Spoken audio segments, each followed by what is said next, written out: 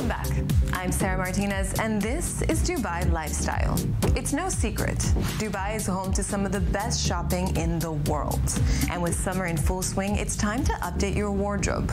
But let's face it, shopping can be pretty tiring. Well, you're not going to believe this. Dubai is home to the world's first ever shopping resort.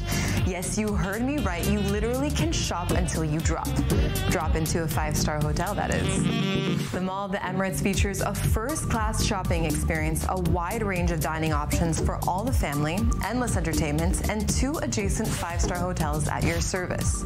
And trust me, you won't be disappointed. With 630 brands of fashion, sports, lifestyle, electronics, and home furnishings, the mall has something for everyone and anyone, providing unmatched luxury with more than 80 of the world's most renowned designer brands.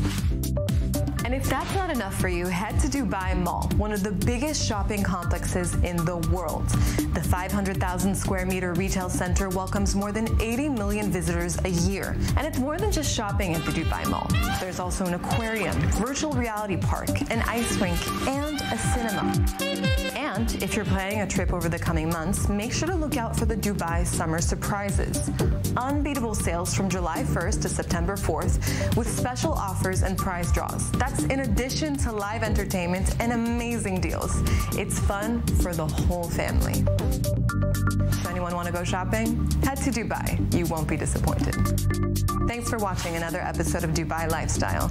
Don't forget to follow us on Facebook, Twitter, and Instagram.